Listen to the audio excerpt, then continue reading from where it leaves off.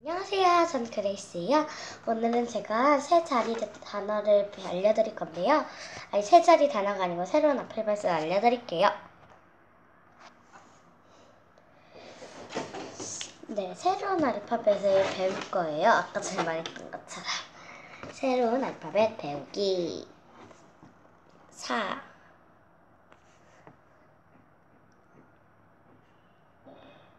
오, 오, 알, 파, 벳, 배우기. 4번. 새로운 알파벳 배우기.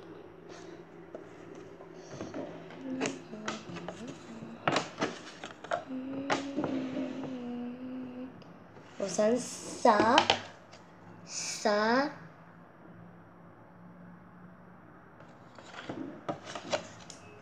버, 버, 오, 따, 따,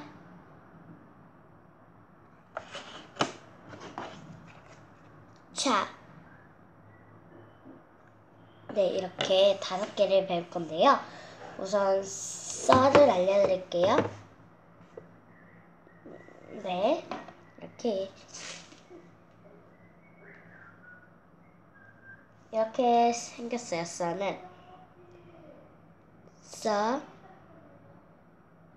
르, 여기 르 이거 빼면 르드, 서 이게 써예요.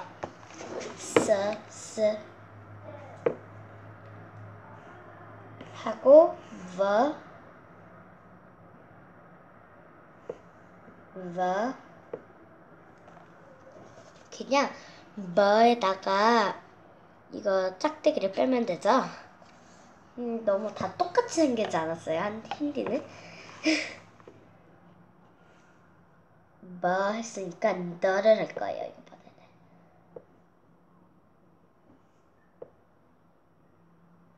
너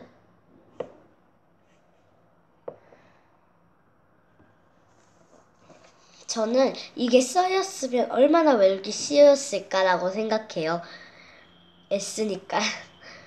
이게 써였으면 얼마나 외우기 쉬웠을까라는 생각이. 근데 이건 너예요, 너.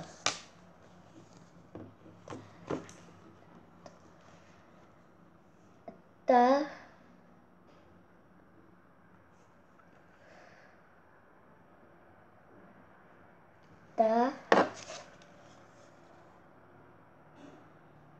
나무에 열매가 맺는 거 같죠? 쳐.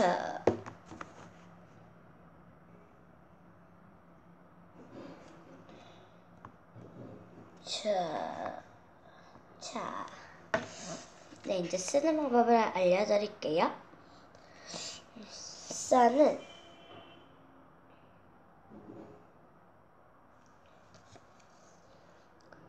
이렇게 쓴 다음에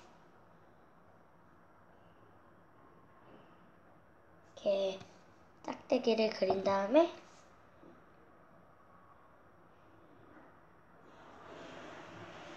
짝대기를 이렇게 그려주시면 돼요. 이게 순서예요.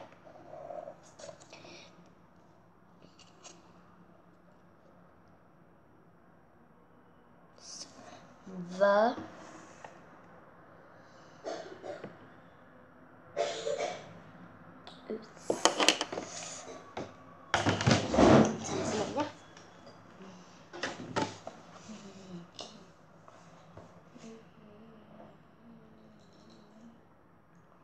자, 죄송해요. 잠시만요.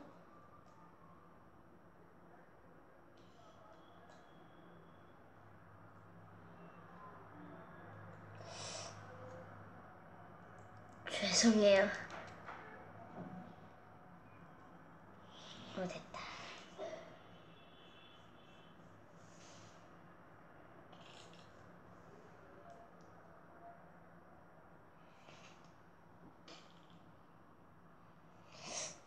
아, 화이트가 잘 안 되네요.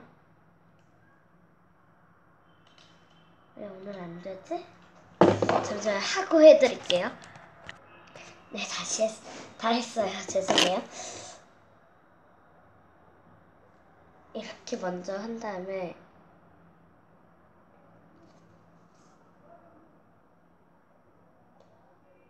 여기다가 이렇게 하면 그냥 동그라미만 붙이면 잠시만요. 아이고 내 그림을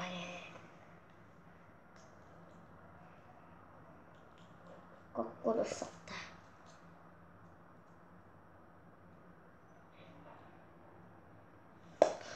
죄송해요.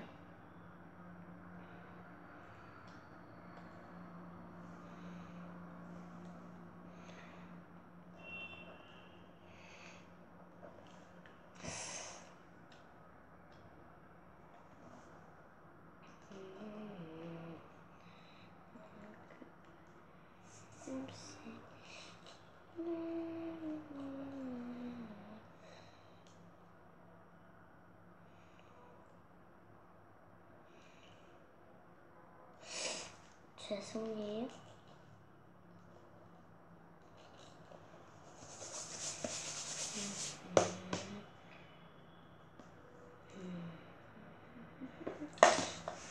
음, 됐다. 잠시만요. 죄송해요. 음. 이렇게 한 다음에 음, 너는 음, 이렇게 한 다음에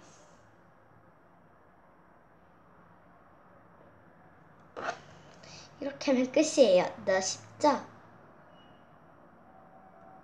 하고 또 알려드릴게요. 또도 엄청 간단해요. 더 차. 차는 조금 어려울 수 있어요. 맨 처음에는. 이렇게 선같이 그려놓은 다음에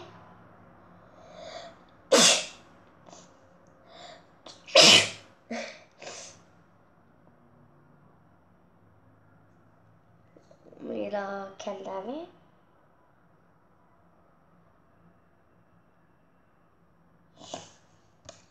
이렇게 건강에 삥 하고 주면 돼요. 네. 이젠 적으세요. 적지 않은 분들도 있겠지만 저는 이렇게 적어가지고 책으로 만들 거예요. 지금 이만큼 했어요. 힌디 세 자리 단어, 힌디 알파벳.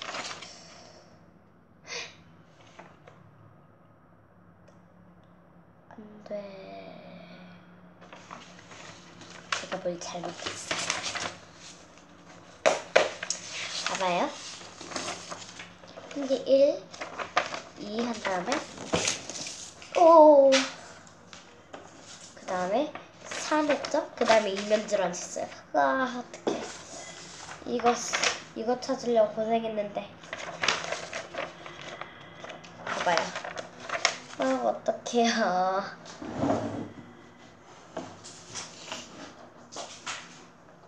아이고. 음, 뭐 할 수 없죠 뭐. 이, 삼, 뭔가 이상하다 했네. 사,